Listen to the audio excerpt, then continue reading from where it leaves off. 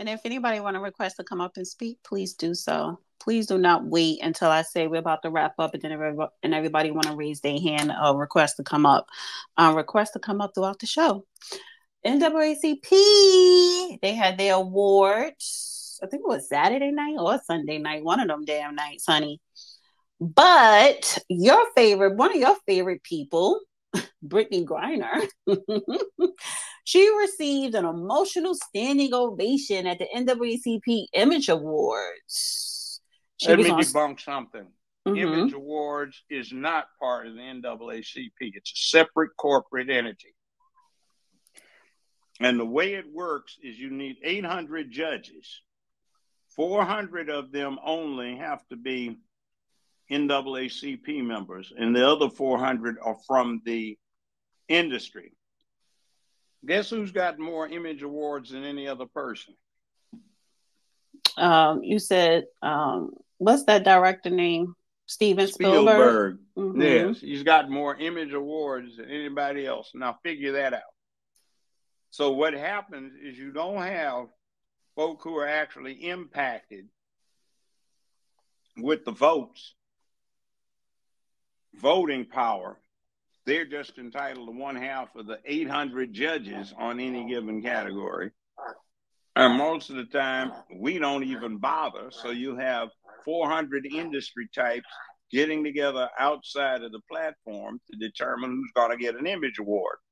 Now, the charter says it's supposed to improve the image and self esteem of Black folk or colored or Negro, depending upon how you want to, what era you're in. So I got nominated twice. Didn't win, but got nominated. And um, frankly, my studio was trying to keep me from getting an award because they were trying to kill the show when it was in year two. but that's another thing. Here's the deal the image award that was given away then, that was 2000.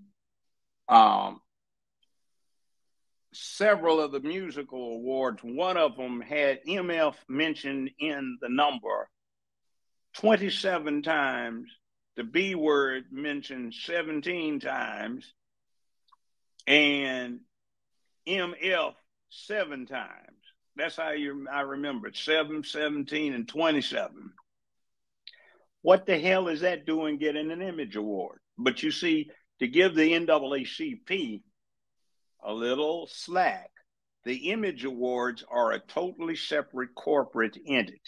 The only thing in common is the NAACP moniker. Mm-hmm. Well, Brittney Griner and her wife they took to the stage, and she said she want to. You know, we are truly just so thankful to all the people, many of whom are Black women and Black-led organization who fight so hard to bring um, Brittney Griner home. The couple was introduced by Queen Latifah, who was a host, who applauded them for their resilience. Um, so she got a standing ovation. But what? Guess what Queen Latifah is?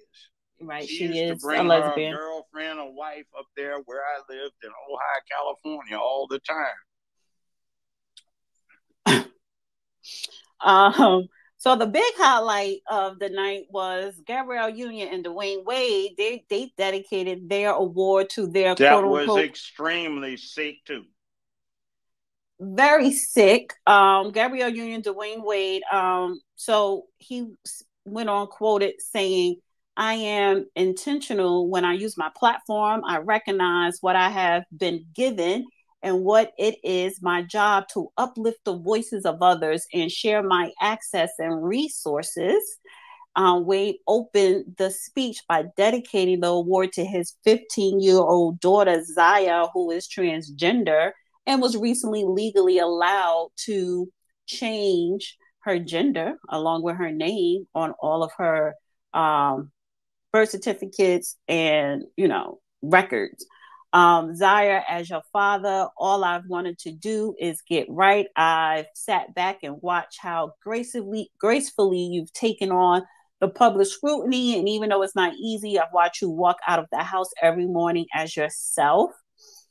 I want to scroll down to what Gabrielle Union was saying. Um, in her portion of the address, Union added a powerful push to stand in a new era of activism, a new era that demands our collective answer to one simple question Will we fight for some or will we fight for all our people?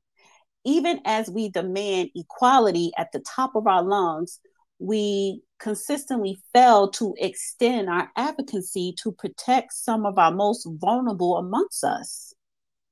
I guess that would be LGBT that boy, or trans. That boy needed to be raised to grow up and be a man and defend his people.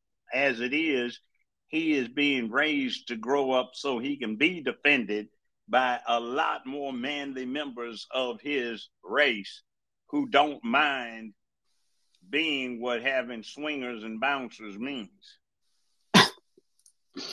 yeah, those were some rumors that they were like that. Um, to an emotional crowd, Wade ended his speech saying that he was proud to be chosen as Zaya's father. Zaya, you've made me a better human just simply by being who you were born to be a baby girl, Zaya Wade. So, baby, thank you for showing the world what courage looks like. So that is I call it, I call it being a coward and shirking your responsibility. That's what I call it. And I don't care who gets it. It's his right to do it in America, but it's still my right to call it under the First Amendment what it is. It's cowardice. Dwayne Wade, though his what he's what um he and that boy because at the age that boy is, he ought to have been taught some manliness and courage and bravery. It's a disgrace right. when you have these people running around showing such a lack of respect for their obligations. Always about what they want. That's why we have gone to hell here. And one of the things I'm going to do as mayor is impart a sense of purpose, duty, honor, and responsibility, a cause to the people when people get told that they have no cause, just do what you want.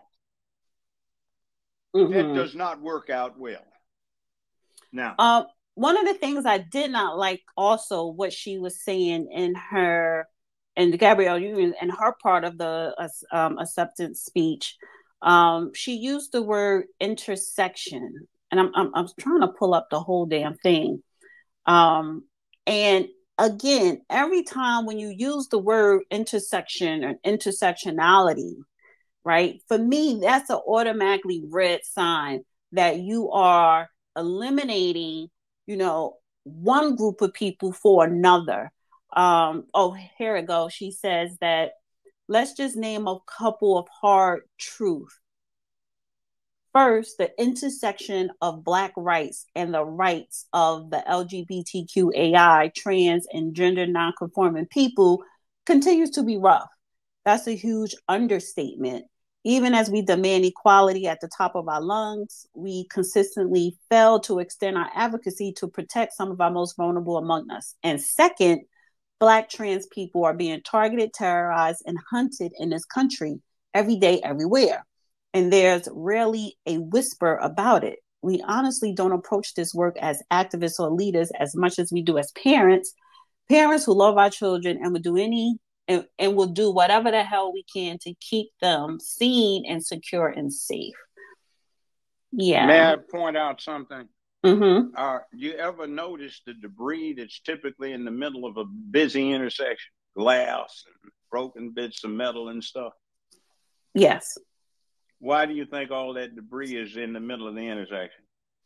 Mm, it's being pushed there or something? No, because intersections are frequent locations for accidents and collisions and problems, right? Oh, okay. So yeah, intersectional uh, is frequently the intersection of what they're talking about is a frequent location for accidents and mischance. Great and way of putting way, it. Why the hell should we advocate for them when they're trying to co opt and destroy every damn thing some of us have died for?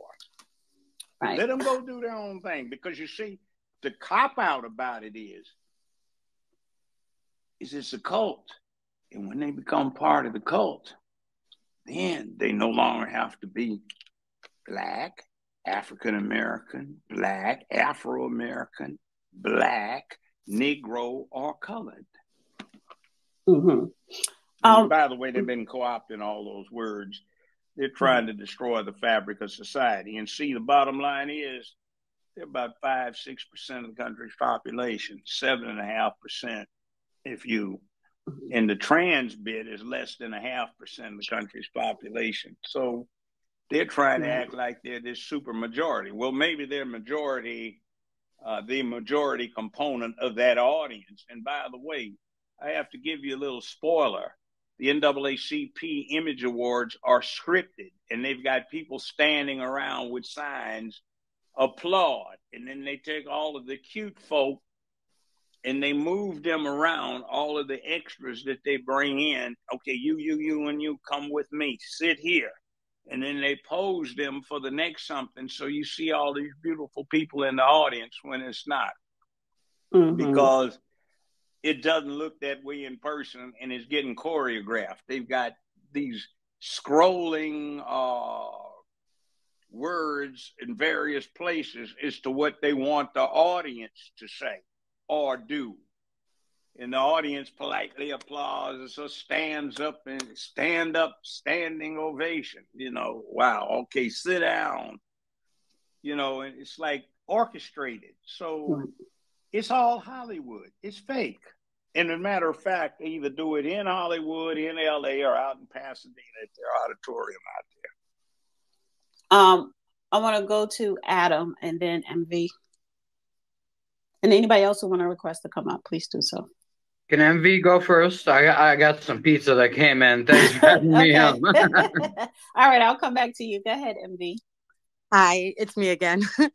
um, I just want to say that we can't we have to be brave at this time in um, human history. If we are silent then everything that they um, want to accomplish they will be able to accomplish because of our silence our ancestors were brave. We're here because of them.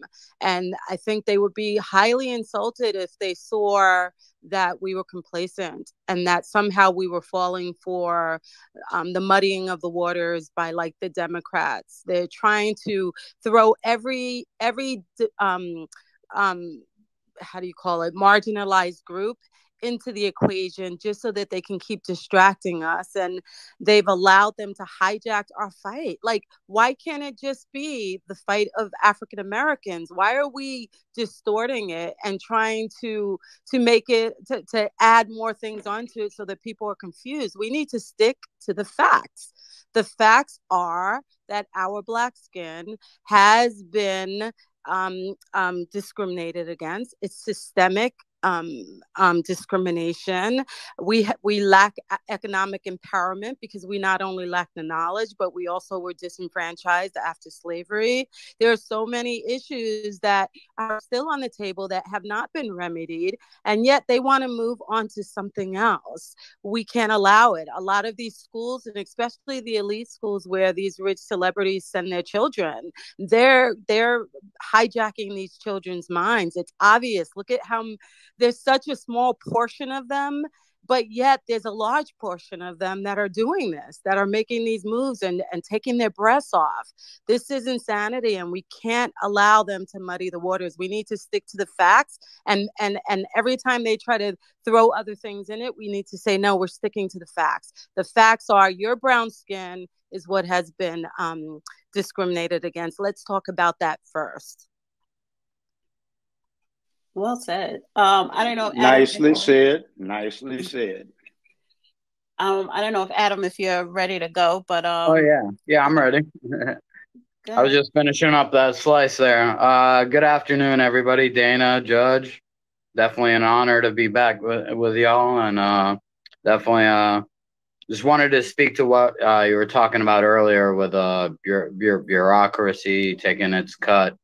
I think it's uh, 11 cents per, per tax dollar that goes to like for, toward education that actually gets to the school, which is like, you know, 11 cents after all that bureaucracy because they all got to get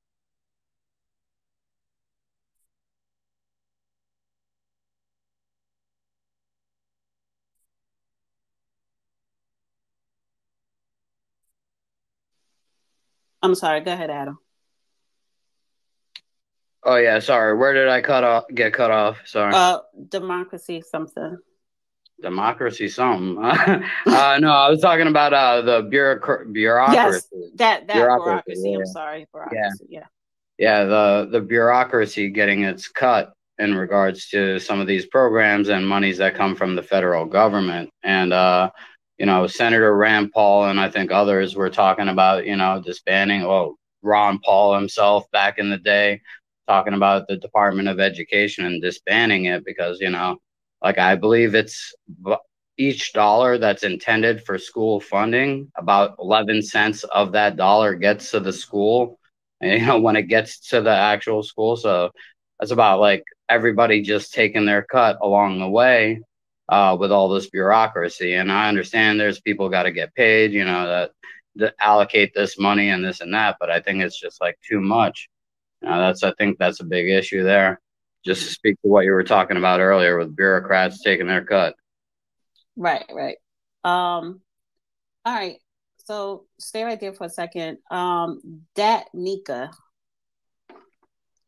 Hello. Uh, good afternoon, y'all. How y'all doing? Uh, thank you for pronouncing my name right too. Um, yeah. So like, I just want to say, um, the NAACP they represented colored people very well this weekend. so this organization is still calling certain people they want to help out or whatnot colored people. They did that. They did a phenomenal job with their presentation of uh bull crap this weekend. Great. That is the that's totally indicative of what a colored person is in 2023, wherever the fudge they was talking about. Uh you know, and how they how they awarded people and what they decided to reward and award, all that type of stuff, right? So, um, yeah, I, I know y'all probably covered that already. Uh, Joe Biden, look at him, he gonna come Monday morning. Hey, he said, "Look, do I look like a dumb white boy? What is that man crazy?" That man said, "I'm not just a dumb white boy, whatever the fudge that means. He just a sick, he a sick fella." He a sick. For he probably can't. I wouldn't even trust Joe, but I don't even think he could drive himself to the store and pick up some cereal. Honestly, so um, whatever he's saying, mm-hmm. I don't even think he could do that by himself. Like I want, you know, he like one of them. Like if your grandma or granddaddy got Alzheimer's or something, you gotta make sure you lock the door before you leave so they don't sneak out. He like that for real, for real. Like I know what dementia is. Um, just and just just in general, um, yeah, man, I don't even know what to I don't know what Elon Musk did. I mean, I guess all he do is just continue to be a rich African American, isn't he? He's just a rich African American, ain't he? That's what he is. So I don't know. It's just a bunch of weird stuff. This this whole country is just weird as hell lately. And uh yeah, I don't have nothing to say, man. Y'all, y'all have a good one. All right, you can mute up. You can stay up. Um, I was just about to mention that article. I don't know what happened to the judge. Um, I'm pretty sure he'll hop back in. But yeah, the art which was mentioned with Joe Biden, um, it says Biden ripped for I may be a white boy, but I'm not stupid. A comment at a Black History Month event. event. Um, he said he is both, and this was just comes on the heels of last week when he referred to the Maryland governor Wes Moore, um, who is black, as a boy. So it says President Joe Biden um, President Biden made controversial declaration during Black History Month event Monday, saying, "Oh wait, one second. Uh, let me bring him back up as the. Uh, um, I got to bring the judge back up. Yeah, that's that's Joe Biden. Uh, the KKK called him the ducktail Dixiecrat. You know. Yeah. That's okay. Him. So it said at um, at a White House reception, Biden appeared to hit Governor Ron DeSantis when he declared it is important to say from the White House for the entire country to hear history matters, history matters, and Black history matters. I can't just choose to learn what we want to know. We learn what we should know. We have to learn everything the good, the bad, the truth, and who we are as a nation. Um, but it was another statement from the event that went viral when Biden was boosting about his knowledge of the Divine Nine historically black fraternities and sororities. Um, he says, I may be a white boy, but I'm not stupid. And the crowd laughed. I know where the power is. You think I'm joking. I learned a long time ago about the divine nine. So I guess he was saying the power is held within the black fraternities and sororities. The boule. Excuse me. What divine nine? That's what he said. What nine? There are historical black fraternities and sororities. There are only eight. Is that including the Masons? That's not a fraternity. Maybe they were. I don't know. It's I don't not. know. Look, look. See, you even have to talk about. Are you talking about Prince Hall Lodge, or are you talking about other potential? I have no idea what this man See, talking I about. don't. That, that fool doesn't either. He does not either. There are eight sororities and fraternities that are the original ones. I, I'm not saying in the last 10, 15 years, some upstarts might not have jumped in there, but there are only eight. And they got created more than 100 years ago for the purpose of fighting segregation. And you had four sororities, four fraternities, and their purpose was to look like party organizations. Somebody And just tweeted. be dealing with something else. Wait a minute. Somebody just tweeted that it is not Iota Phi. That doesn't. Sci-fi? that- no, uh, uh That's the name. No, I don't I'm know. talking I don't do that fraternity sorority shit I did. I was dean of pledges back in 1967 uh, for the Alphas, Alpha Delta chapter, Los Angeles. And by the way, anybody interested, I invented STEP, had my pledge line doing it. And there were four fraternal participants in the frat games and four sorrel uh, participants in the proceedings. There weren't I mean, honey, we honestly That one I believe, came from African dance. No, no, no. That no, it didn't. I invented it.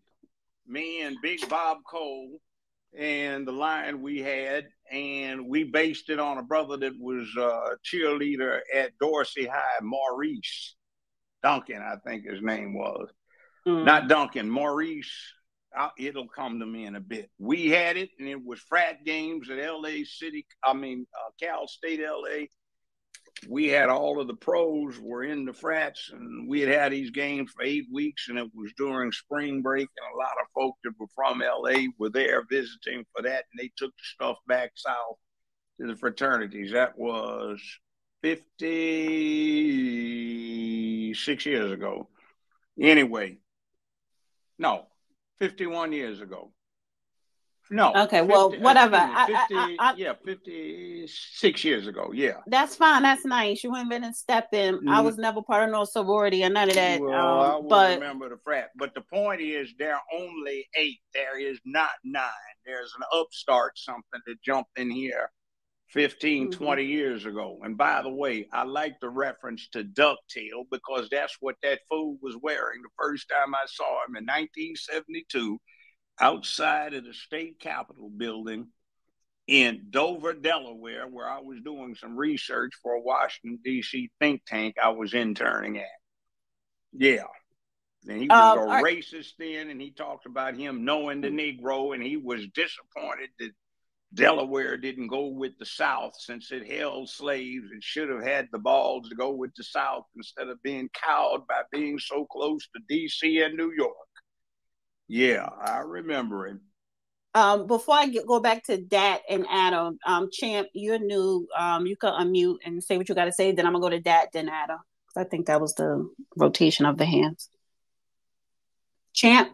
Oh yeah, I was just Oh. uh adding in that what people refer to now as the D- divine nine would be adding iota uh to the divine nine. You know, they came after the war, like uh, Judge Joe Brown said, and they felt like we weren't representing what we were supposed to represent. You know, I spoke to some when I was I was in undergrad, and you know they told me how they were founded and the reason they were founded. And they just felt like you know the black fraternities weren't doing what they were supposed to do, so they came to save the day. Clearly, that's not the case. So but it, it is the iotas that uh they're talking about that came later. Okay, but why is he focusing on Divine Nine as if that's the big Right. part of Black history? Right. Am I missing something? Who cares about the Divine Nine? He's a buffoon who likes to grandstand and throw stuff out like he knows something. Right. Somebody put that in his little cue cards. Yeah, Divine that's like he dev- bragged about what he did in law school and then found out he got jacked around for being a plagiarist. Um, all right, that and then Adam. Oh yeah, he threw that Divine Nine uh stuff in there because it's a buzzword. So he know with a certain demographic within the party that votes for him and people like him, he know that that's a he makes certain people feel acknowledged. So he's going to throw that out there. Yeah, you know, isn't his vice president a member of the Divine Nine or whatever? Isn't that one of the big reasons why, even though she did call him racist during the middle of the debate, I remember that they could scrub it all they want. Kamala did call that man a racist at the middle of the debate, but somehow she wanted to be his VP, and his whole she's one of she's one of y'all. You know, you know how they they just got their wranglers, and they look at the, the Democratic Party. Look, no offense to anybody who's a part of that stuff. Those are the Negro wranglers for the most part. They wrangle the Negroes to vote for a desired effect that that particular liberal Democratic Party does, and they that's what they do. So they, you know, he I make y'all feel seen. See, look at what I say. I hired, I got a black uh, Supreme Court justice. I got a black spokesperson for the white. Look at what I do. Even though these people really don't serve us no purpose, and we can question I can question all that Ketanji Brown lady's judgment, man. This lady is lenient on pedophiles. Like, let's be clear about this. Not, I didn't. It's not because I said it. It's because what she do. This, this her judgments, right, Mr. Judge Brown? Am I tripping? You're not tripping. And let me give you a factoid that's interesting.